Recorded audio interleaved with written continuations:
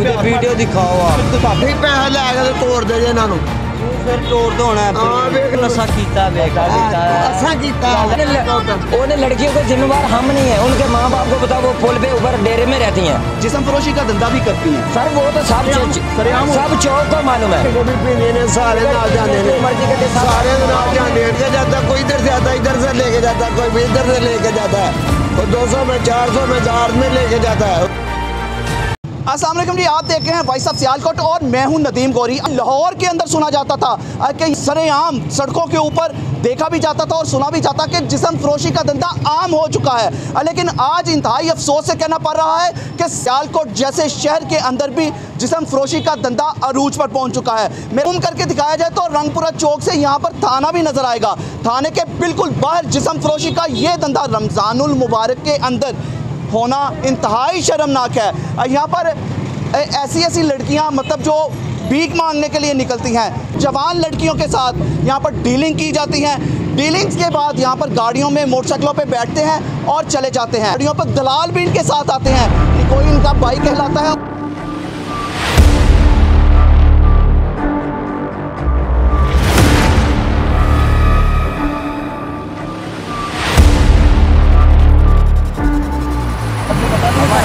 माँ बहन है। आपकी माँ बहन आप दलाली कर रहे हैं हमारी माँ माँ बहन आप क्या करते हो इधर उनके? हम तो माँ बहनों को ऐसे बिठाते हैं हम तो बाकी। मजदूरी करता है। ये मजदूरी कर रहे हो कि दलाली कर रहे हो? जो कर रहा है वो अपनी माँ बहन की माँ बहनों को इधर ऐसे बिठाते हैं? भाई जो दलाली कर रहा है वो वो भी बहन बहन पास बैठ के सिगरेट पी रही थी। वो आगे भी पीती हैं हमारे साथ जाती हैं घंटा आगे भी। वो किराया देती हैं।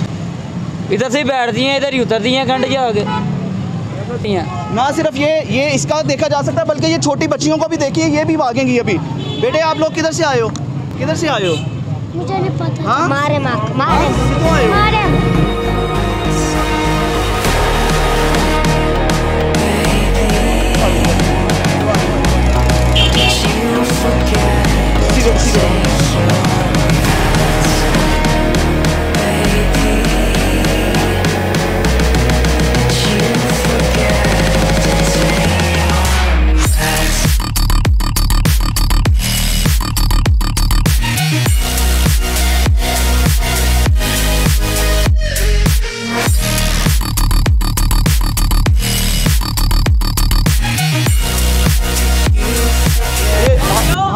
हाँ भाई और फिर इसके नाल होनी है जेड़ा कहंदा है ਸਾਰਾ ਕੁਝ ਤੁਸੀਂ ਕਰਵਾਉਂਦੇ ਮੈਂ ਸਾਰਾ ਤੂੰ ਕਰਵਾਈਂਦਾ ਤੂੰ ਹੈ ਅਸੀਂ ਤਾਂ ਝੰਗ ਹੀ ਛੁਆ ਝੰਗ ਦੇ ਹਾਂ चंग तो ऐ करो ऐसे गंद लेके आ गुब्बारे बेचने से केड़ा गुब्बारे तो नहीं बेच रहे भाई यहाँ पे जिसम फरोशी बेच रहे हो आप जिसम बेच रहे बेचने हम। हो आप यहाँ पे बैठे हुए हमारे पास वीडियो है आप उनके साथ बैठ के हाथ पे मुझे हाथ वीडियो मार- दिखाओ आप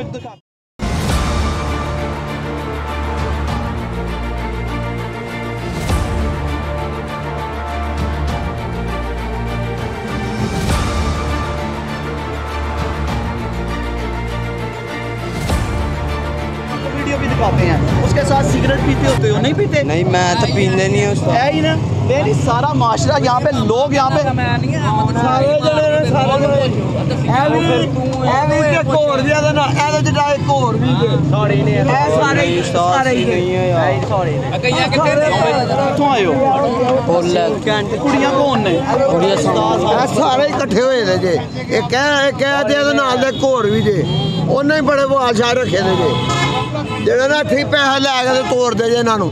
ਤੂੰ ਫਿਰ ਤੋੜ ਦੋਣਾ ਹਾਂ ਵੇਖ ਵੇਖ ਕਿੰਨਾ ਐ ਸਨਮਾਨ ਦਾ ਅਰੇ ਮੂੰਹ ਦੱਸਦਾ ਸਾਲ ਮੈਨੂੰ ਗੁੱਸਾ ਨਹੀਂ ਅਰੇ ਮੂੰਹ ਦੱਸਦਾ ਜਦੋਂ ਪੁੱਠੀਆਂ ਗੱਲਾਂ ਕਰਦਾ ਪਤਾ ਪਤਾ ਲੱਗਦਾ। ਮੂੰਹ ਦੱਸਦਾ ਖਾਵੇਂ ਤੇ ਇਦਾਂ ਤੇਰੀਆਂ ਅੱਖਾਂ ਰੱਤੀਆਂ ਉਹ ਮੇਰੀ ਅੱਖਾਂ ਸਹੀ ਨੇ। ਨਸ਼ਾ ਕੀਤਾ ਰੇ ਤੂੰ ਨਸ਼ਾ ਕੀਤਾ ਵੇਖ। ਕੀਤਾ। ਅਸਾਂ ਕੀਤਾ। ਮੈਂ ਸੋ ਗਿਆ। ਨਹੀਂ ਕੀਤਾ।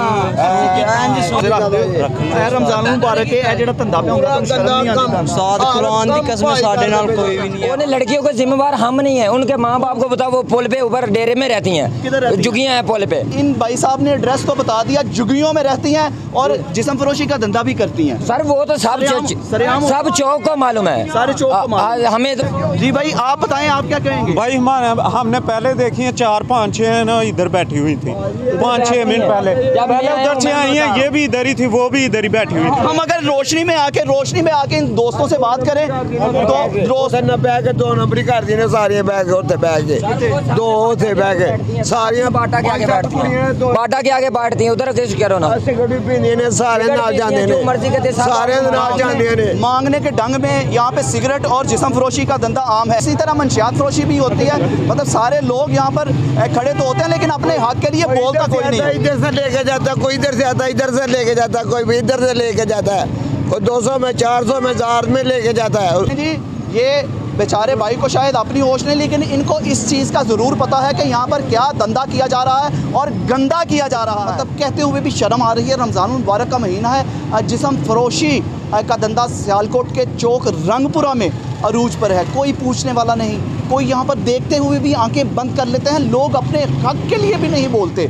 फ़िलहाल देखते हैं इस स्टोरी में क्या कोई आके कोई एक्शन लेगा? क्या इस गंद की सफ़ाई की जाएगी? ये सवालिया निशान हम छोड़ के जा रहे हैं। क्या कोई ना कोई अदारा जागेगा कि हमारे शहरियों की इज्जतों की भी हिफाजत की जाए? मुबारक के मुकदस महीने का तकद्दुस माल होने से बचाया जाए। तो हम तो उम्मीद यही करते हैं कि काश कोई ना कोई आए और इस गंदे धंधे को बंद करवाए। फ़िलहाल इस दीन गौरी को इजाज़त दीजिए। अपना बहुत सा ख्याल रखेगा और हमें दुआओं में याद रखेगा अल्लाह हाफिज़। पाकिस्तान जिंदाबाद।